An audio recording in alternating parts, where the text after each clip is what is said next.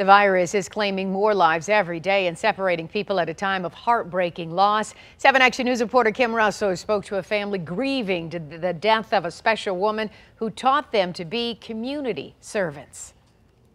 This is a picture of Sarah Piles from Highland Park. Even at 86 years old, her family said she was active, traveling, volunteering, and going to church. Her daughter in law, Debbie, son Jeff, and granddaughter Tara spoke to me about her. My mom was a amazing, amazing mother, um, mother of five. You just felt at home around her and, and loved. She loved so hard. It's possible that the fact she was so loving and people loved to be around her made Sarah Piles vulnerable to COVID 19.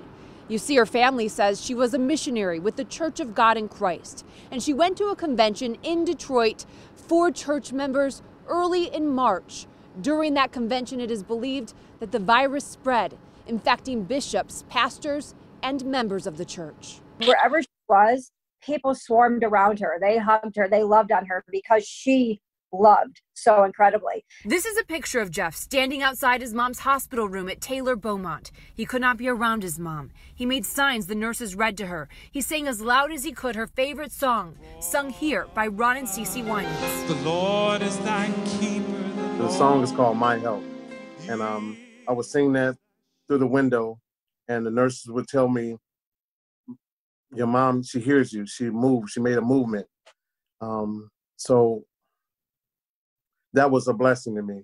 It's a blessing he has held on to as he grieved at a funeral home almost alone with his daughter on FaceTime as he watched his mom's burial from a distance, unable to be at the graveside because she died of the highly contagious virus. In honor of this, by all accounts, incredible woman, this family has a message inconveniences don't compare to a loss of life.